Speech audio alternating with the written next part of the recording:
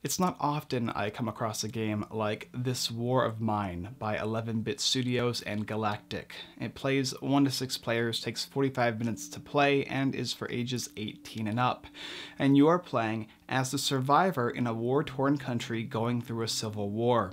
You and up to three other characters are going to be bunkered down in a house that has basically been disheveled by nuclear bombs or just bombs in general, air raids, and your objective is to survive over a period of days before hopefully help arrives. Sadly, fatigue, hunger, misery, and depression are things that your character will experience throughout the game if you don't get the required supplies, needed items to board up your house, and of course, there's also the risk of death because there are looters and people that you're going to come across throughout your night raids or night scavenging that might uh, basically have your character end up in an ill-foreseen uh, scenario. The game is a complex one and it contains a lot of components and I think we'll just go ahead and get started by explaining what you get in the game, how it's basically set up, and then of course the basic rundown of an, a single day phase. And then we'll talk about my review for this game based on the hit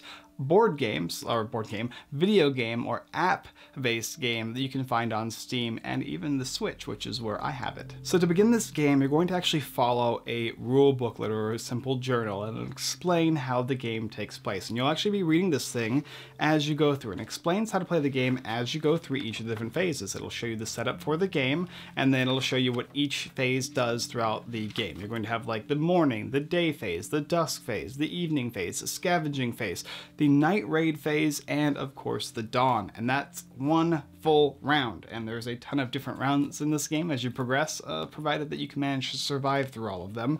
Uh, basically, survival is key in this game, and if you can get to the end that way, you'll win set the board out, and there's two sides to the board. One is dangerous, and the other is insanely dangerous. Uh, you're trying to uh, basically survive in this house, and the house is represented by the board in the game. And that's 90% of the board, in fact. You're going to take certain cards like rubble and heaps and closed doors. Uh, you're going to take furniture, and you're going to place them randomly throughout the house as your characters start in here, they're going to be digging around and attempting to find unique resources or things they can use, So not only for scavenging, like maybe a shovel or a lockpick, but also things to actually use to craft items, such as, for instance, a gunsmith shop, or a bed, or a drain water collector that you'll then be building and placing in the house. After you've randomly selected all the cards and placed them down, go ahead and set aside each of the decks, and each of the decks has a specific uh, space for it. It'll tell you what type of deck it needs. Here's the visitors that you're going to hopefully uh, encounter throughout the game. You'll place them on the visitors stack of visitors cards in that area. Characters, narrative, fate, colors, so on and so forth. You're also going to set your locations on the top left. You'll draw three and you'll place them out in three different districts. Basically, one's going to be closer and the others are going to be farther and farther away, giving you less opportunity to stay out at night because you have to reach them. Uh, after you set up the entire board here, there's of course going to be the chapters and the final objectives, which is probably what you're going to do last. Mm, these are simply explained in the rules as to set them up, and then as you go through them, they'll tell you what you need to do to progress further. But these are what you need to accomplish throughout the game, and also the bad and good things that can happen to your characters place all your characters there. And then of course each character has their own unique card, their own unique token, and they're going to have their own unique uh, illness, hunger, and other type of tokens that can affect them, thusly allow allowing them to have less actions as they progressively spiral downwards, either into depression, illness, or hunger.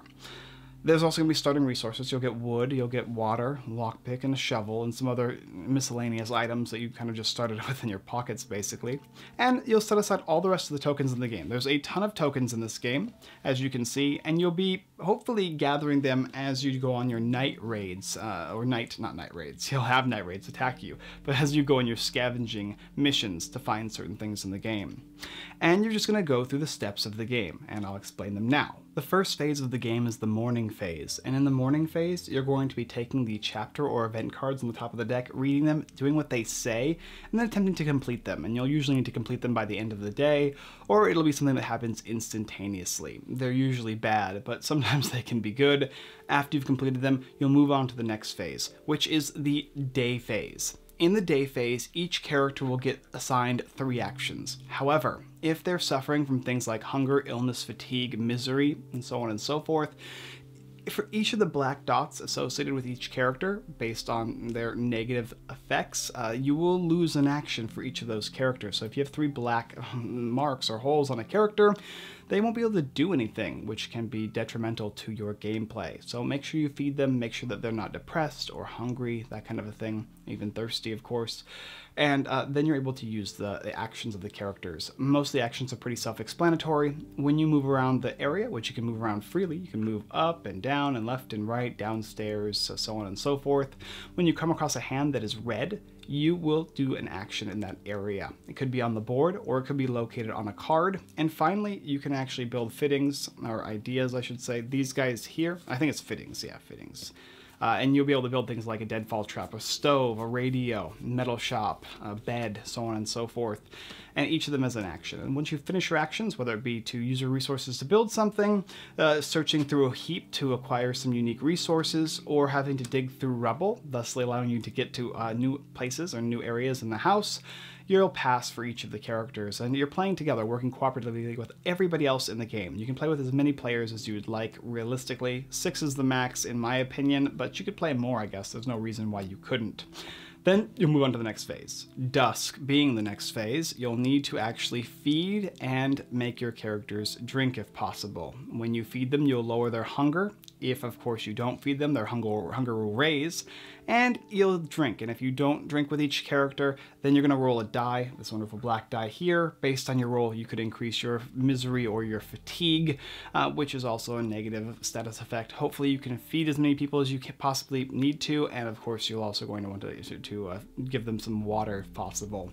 And then you'll move on to the next phase. So evening has come, and each of your characters are now going to either need to sleep, either on the floor or in a bed, which will hopefully lower their fatigue if it's in a bed. They can guard the front door of the house, and you're going to need to do that because basically if you don't, you'll lose the game. So just a heads up, it's a spoiler sort of, but you don't want to lose the game early. So make sure you have somebody on guard. And finally, you can have any number of characters also go out and scavenge. And when they go out and scavenge, they'll have a certain inventory space that they can hold, and the more that you bring out, the more you can scavenge, but the more tired they're going to be when they come back the next day. After you finish assigning each of the characters one of the four positions, you'll move on to the next phase. The next phase is the scavenging phase, where after you've assigned your characters uh, to go ahead and go out and scavenge, you're going to then select a location, and there's three available, but those will be removed and replaced as the game progresses. And if you want to go to a farther location, you'll get less cards for your exploration deck, and if you come to a closer place, you'll get more. But you might have already been to a certain place, and you might want to actually traverse to a new one, but of course, the farther you go, the less time you have, thusly the less cards you get in exploring, and more cards is always better. So if we were to go to Old Town, which is here, we would then go ahead and take 14 cards from this deck here, set aside the rest of them, and use this as our explore deck. We can also go ahead and equip ourselves, bring cards, bring uh, tokens and whatnot, maybe like a shovel or a lockpick that we may need as we go throughout our scavenging hunt uh, to help our characters. Remember, whatever we bring, we might want to bring back, and they have weight to them, and our characters are only allotted a certain number of weight. And then from there, we'll flip over cards, do what they say, make the choices allowed, and utilize our wonderful book of scripts that uh, will basically give us the story of the game, our specific game, which will change every time for each unique game. And you're going to come across a ton of unique events that are usually going to be bad, sometimes good, and sometimes, sometimes even great.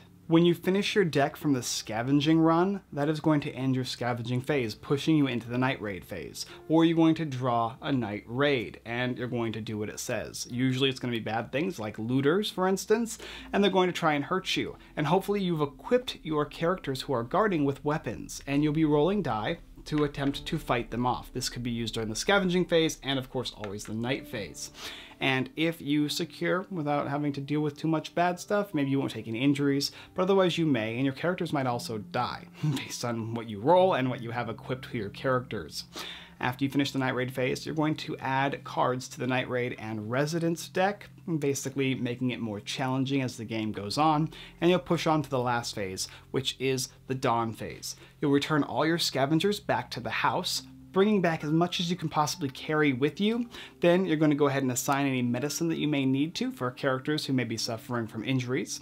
You'll draw a fate card and you'll resolve it, and they'll all do different things. And then you're going to go ahead and draw two narrative actions, choose one of them, and utilize them. These are always generally speaking, good. And you're only going to get mm, a couple throughout the entire game. So make sure you choose the correct ones that are going to make it count, and it'll help you throughout the game. After you finish the dawn phase, that's going to trigger the ending of the day, and you'll push on back to the morning phase. However, if you don't want to, you can stop. Maybe you need to take a breather or whatever, and you can save the game. And they have a save sheet that you can actually write down all the things on the board, all your characters and their fatigue, so that you can come back and play again at another time. But otherwise, you'll just keep going throughout the entire game, playing through all of the cards. And of course, the objectives that you'll need to complete after each of the chapters. And if you can do so, you'll gain a reward, otherwise you'll suffer a penalty. And then of course, the final objective after the third chapter, which this one is just survive. At least one character from the starting group of characters that you have needs to survive till the end of the game. Uh, and if you can do that, you'll win the game. I've never completed this game for various reasons. It's very challenging and uh, also can be quite depressing. Uh, but that is the game, and that is how you play this War of Mine. Let's talk about my review. There's not a lot of board games that I can think of that actually make me depressed as I play them. and in this War of Mine, it does that. Now, I played the video game beforehand, and it is very true to the video game. If you've played this War of Mine and you want a tabletop game that simulates more than one player playing with you, or in fact the way I like to do it, especially now after playing a few times, uh, I like to be the narrator, I like to explain the game to other people and let them kind of uh, have the events unfold, uh, allowing them to kind of have this uh, journey that they don't have to go ahead and read the scripts and whatnot. It's somebody else reading to them, kind of like a DM and the other players. I basically explain the story to them as they make choices for their characters. Uh, but otherwise, the game booklet will tell you to switch players each and every time uh, one of the events or one of the uh, phases of the game ends. The dawn phase is over, now pass to Callie. After the dawn phase, it's the morning phase, now it's John's turn. And you just rinse and repeat uh, that way. And the book tells you, gives you good examples of how to do that. Let's start with quality first before we get into any more of the storyline. Now, the quality of the game is excellent. It comes with a ton of unique tokens. All of them uh, have different like types of, of, of, like manufacturing quality. You have like the water tokens or droplets, which are going to be see-through. You got the wood pieces, uh, which is nice little like wood wood-like plastic, a bunch of tokens for all the different guns and weapons.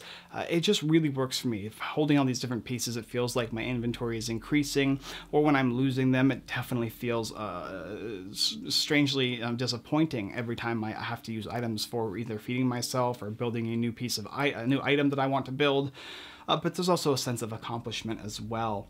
Uh, there's a bunch of different dice you'll use throughout the game, and they're all etched dice, which is nice, and the better ones are obviously the ones with weaponry, like the guns, followed by handheld weapons, and then finally your fists, which are terrible. um, all the cards are really well made, the miniatures are excellent as well, and the book is really easy to read and go through. Um, I didn't have a trouble with the book of scripts, uh, other than, of course, the narrative aspects of it, and the fact that it has multi-sided board um, and it looks like a house. And as you pull things apart and put them on, it feels like you're building house each and every time in a new and unique way. Overall quality of this game is uh, not even not, not just satisfactory, but excellent in my opinion.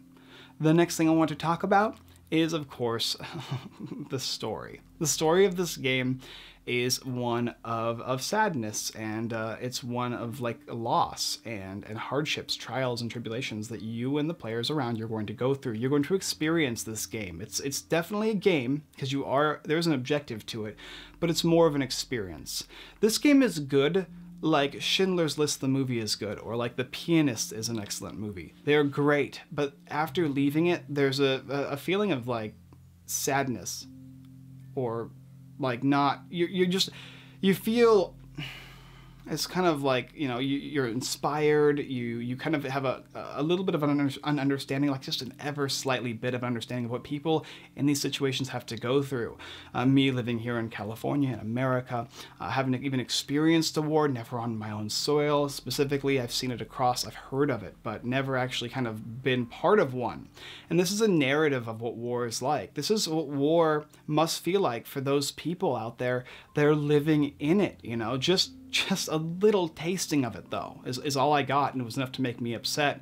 Um, and and I just feel for people like that. This really made me think about the history of war and what it's like to be, have go through certain countries even still to this day how how how much how, how damaging mentally and physically it must be to have to live in a time period where this still exists where people are afraid to leave the house but they have to to save their kids or save their relatives it's just overall a really disturbing and even upsetting theme but it's it's upsetting in a good way like it feels good to go through the game and understand what people had to go through. One of the stories I'll never forget in this game is I, I scavenged with one of my characters who was like a beefy, broody dude, and I knew he was going to carry a lot of stuff. And he came across this, uh, this, this like it's like a hair salon, but instead of people, the women doing hair for other women, the women were in there getting prosthetic faces to make themselves look ugly and like disheveled and like doing their hair all nasty. Do you know why? To keep the people that are outside in this ravaged landscape, the males specifically, from doing nasty, dirty, terrible things to these women, assaulting these women. And and I came across, and the choice was I could either either leave them, or I could go in and steal all the donations that the clientele had given these hairstylists and these prosthetic makeup designers, and I could steal all their stuff and take it back home. Well, normally the thought process is, well, I'd never steal from these people, right? But at home, all of my friends and family are dying it, some some choices are are, are, it's you, I don't know what to choose, you know, and and some get sometimes in this game I just stopped playing because I didn't want to make certain choices. It was it was too much for me. I don't know what that makes me, but I, it was it was rough. Uh, but that doesn't mean it's not good. The storyline is excellent. It's amazing. This is one of the best storyline style games I've played in a long time. And if you're okay with a dark, gritty theme, and you're you're willing to make choices that uh, are are so impactful in the real world, let alone just this game. Like, it gives you a sense of like what the reality is uh, in, of these type of, of, of, scenarios that exist outside of maybe maybe your bubble. Um, but yes, there are a ton of different stories in the game. You're not going to go through this book once, twice, three times. I haven't even gotten through maybe a quarter of this book, and I've played through the game with other players as the narrator at least like nine, ten times, and each time the game was fulfilling, interesting, players left not super excited or happy, but like, wow, a story you'll never forget for sure the story of uh, this war of mine is impactful, historical, and overall, like, riveting. Now for a little bit of a lighter topic, the artwork. The artwork is dark, it's gritty, it works well for the game, the character's artwork is excellent as well. It gives you um, just little things I liked about it, the fact that the character cards have the actual character models on them, so I can find them quickly. The character bases as well is a nice little touch. The boards that are different, unique in their own ways, it comes with additional, um, additional rules, explaining like the, the last night. And there's of course expansions to this game as well, if you can even get through this game here, um, especially with the extra unique items and whatnot. And of course, as you place down unique locations, it does feel like you're building the house and the artwork does a great job of that. Um, the, the, last thing is that this game is a challenge. It's very, very hard. It's very unlikely you're going to beat the game. And if you do beat the game, good job. Uh, it, it's it's something that's hard to not only get through in a story sense, but also in a gaming sense. Making these choices, sometimes it's random, sometimes you just get unlucky, and that's kind of how life is too. And normally in a game that involves a lot of luck, I'm not I'm not for it. But in this game, it just makes sense. You're not ever going to be able to predict when an air raid is going to launch a bunch of bombs across your house or when people come in, destroy your building, steal your stuff, and then the cold air is getting in, freezing you and your family. Uh, it's one of those things that that's life. Nothing is ever going to be like, you're never going to be able, as much control as you might think you have. In the end, a lot of things are kind of up to fate or chance, and this game kind of portrays that in a good way. Whereas giving you the choices is nice, and it does that a lot in this game. Sometimes things just happen. and You have to deal with them as best as you possibly can. For this war of mine, I'm, i would give it my, it's going to get my seal of approval. It is an excellent game. It's going to be a niche game for people who like narrative driven games, people who don't mind the idea of winning or losing in a game, but just want to have an experience, people who don't mind a dark and gritty game with stories like the one I explained to you previously, where you're going to have to make hard choices. And if you like like everything I've explained in this game, if you think it's interesting, if you like the video game version of this game, uh, this is definitely a pickup. This is one of those things now you can experience the video game with friends and family. It's something that you can kind of give them an idea of what it's like, uh, or what it might be like in one of these type of scenarios. Uh, this being completely like uh, not realistic world. This is a different. This is like a different place. It's it's, it's like Grafskanaskan or you know, it's, it's somewhere else. But you do feel a huge sense of realism with it. But anyway, I don't have much else to say with this game because it's just it's just a lot to process. And when make I bought this game a long time ago, and it was really hard to want to make a video review for this game just because I didn't know what to say, and I still kind of don't, as you can probably see. Yes, it's a good game. Yes, you should pick it up if you like this type of a narrative game, but just beware that it's not a game that you're going to walk away and think, wow, that was a fun game. I really enjoyed myself. Did you guys all have fun? well, yes, but but no as well. this this war of mine. Thank you guys for watching another Unfiltered Gamer board game review. If you enjoyed this video, check out the rest of our videos here on YouTube. Like, subscribe, and comment. Hit that subscribe button if you will. You can also go ahead and check out the game This War of Mine with the expansions. I'll have a link down below in the description for you guys to pick it up if it sounds like it's something interesting for you. And maybe at some point I'll even do a, a live stream. I think I did one a while ago, but it was cut short and had like technical issues. Um, and of course, if you would like, you can also check out our Patreon. Support us for a buck every month. It helps us with our streams, with our equipment, and with our continuation of doing this kind of stuff. I appreciate you guys watching, of course, and uh, on our live stream every Sunday at 6.30 p.m. PST with me, Callie, Josh, and Max, and others, especially even designers, coming to play games just like this one here. Thank you guys so much. And as always, I look forward to seeing you guys next time.